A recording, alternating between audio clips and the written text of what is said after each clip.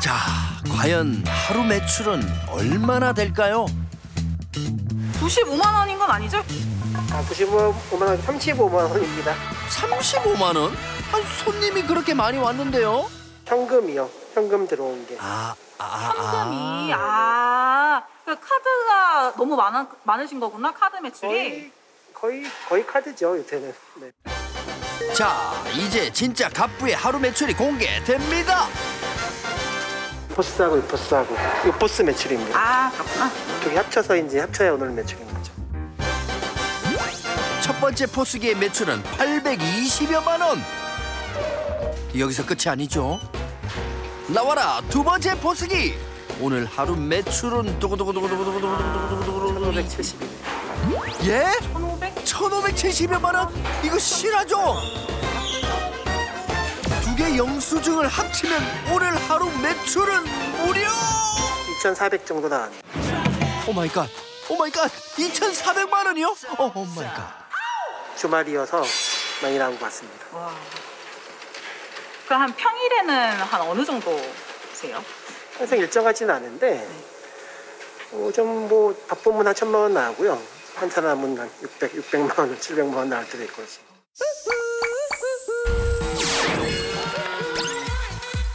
빵으로 빵빵 터트린 갑부의 연매출 약 40억 원.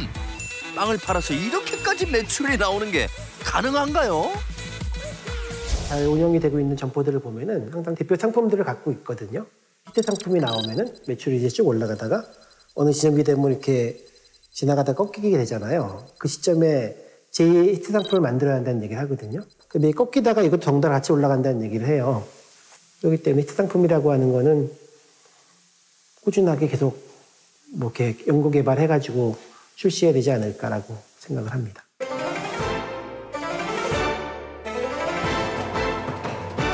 밧줄 닮은 빵으로 인기를 얻은 갑부.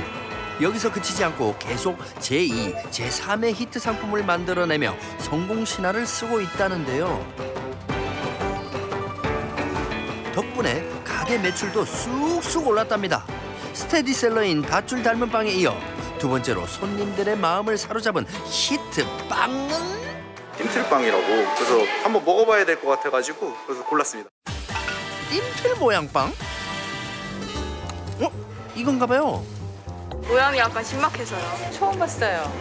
이제 몽블랑을 좋아하긴 하는데 이렇게 띵틀 모양 이렇게 생긴 거는 처음 봤는데 아이디어가 참 좋으시네요.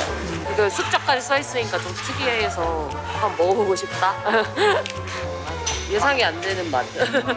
예상이 안 되는 네, 맛이다. 예상이 안 될 것 같아서 더 맛있을 것 같아요. 커피야 같은 날것 같아. 커피가 안날것 같아요. 어릴 때 다들 띠틀 한 번씩 뛰어보셨죠? 그 띠틀이 빵으로 다시 태어났습니다. 어떻게 이런 빵을 만들 수 있을까요? 띠틀 모양 빵은 만드는 것도 범상치 않습니다.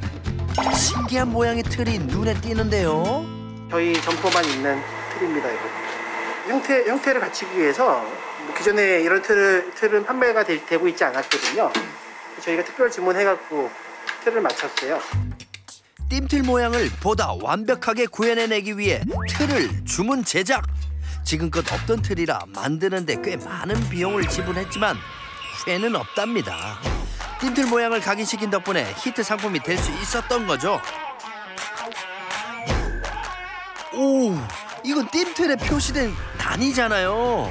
1단, 2단, 3단 이런 것까지도 다 만드셨네요. 단입술을 나타내는 이런 특징까지 나와야 좀 더 이제 찜틀이라는 인식을 할 수가 있으니까 어떻게 이런 띠틀 모양 빵을 만들 생각을 하셨어요? 코로나 시국을 겪- 겪으면서 모두 어려움을 겪을 때 어려움을 뛰어넘자 이런 뜻을 담아서 겉바 속초라고 겉에는 되게 바삭바삭하면서 속에는 이제 촉촉한 맛이 나는 뭐 버터의 맛을 충분히 즐길 수 있는 그런 제품입니다.